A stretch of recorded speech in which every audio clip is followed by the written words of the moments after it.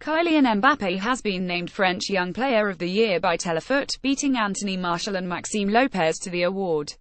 There were two panels of judges voting for the prize, with a panel of experts voting that Paris Saint-Germain prodigy is the country's outstanding prospect, while the fans' vote was claimed by Marseille midfielder Maxime Lopez, who is considered to be the club's greatest prospect since Samir Nasri. Mbappe, though, collected the greatest aggregate number of points, beating Manchester United forward and fellow Monaco Youth Academy graduate Martial into second. It caps a stellar year for the Paris-born youngster, who will celebrate his 19th birthday on Wednesday.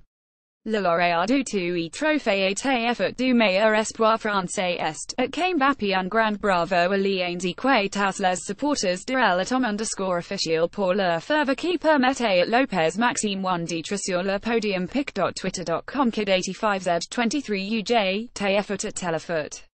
TF1 December 17, 2017 He was an integral member of the Monaco side that shocked Europe by reaching the Champions League semi-finals while beating out PSG to the Ligue 1 title, scoring 15 league goals and 26 overall for the Monegasques last term. Towards the end of the summer transfer window, he made a loan move to PSG, with a permanent deal expected to be finalized next summer for a fee of 160 million euros.